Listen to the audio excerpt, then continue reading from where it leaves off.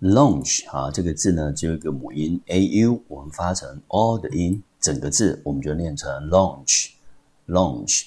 那 launch 在这边呢，它是一个及物动词，我们中文翻成发起或者是启动。在讲例句之前呢，Andy 呢跟各位呢讲解另外一个大家很熟，而且呢跟这个字呢发音跟拼法有点像的那个，就是大家所耳熟能详的 lunch。注意哦，lunch 呢是午餐，只差了一个字母，但是它的发音跟意思差很多。OK，好，那我们来看例句。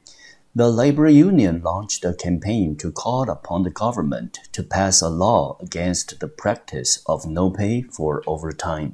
好，我们看这个句子的主词呢，就是 the labor union。labor union 指的就是工会。那我们先来看第一个字呢，这个字呢念成 labor。Labor 这个字呢，原本所谓的就是劳动，或者是名词当劳工。union 就是工会。或者是结合的意思。好，所以他说呢，这个工会呢，launched 啊，他发起了一个 campaign。好，campaign 呢，这边指的就是一个活动，有时候呢是竞选活动，有时候是示威抗议的活动啊，英文就念成 campaign。好，它的目的呢是为了怎么样呢？要去 call upon 啊，这个 call upon 的意思呢，就是要去呼吁或者是要求的意思，要求政府呢去做一件事情，pass a law。去通过一项法律，而这条法律呢，这边是 which is，他把 which is 给省略掉了。Against 这边指的就是反对，反对什么东西呢？The practice of 为什么是练习呢？啊，特别要注意到这边的 practice 指的并不是练习哦。这个 practice 呢，原本除了可以当做练习之外，它还可以当做所谓的实践或者是实施。这边当这边前后文的意思就是实施。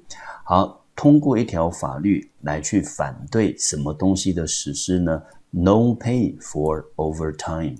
好，那这个 overtime 呢，指的就是加班的意思。加班我们英文就念成 overtime。No pay 就是加班不给钱。那这个东西当然是语法不合的了。好，接下来我们看一下 launch 这个字呢，也可以当做名词，是发起、发表。我们直接看例句。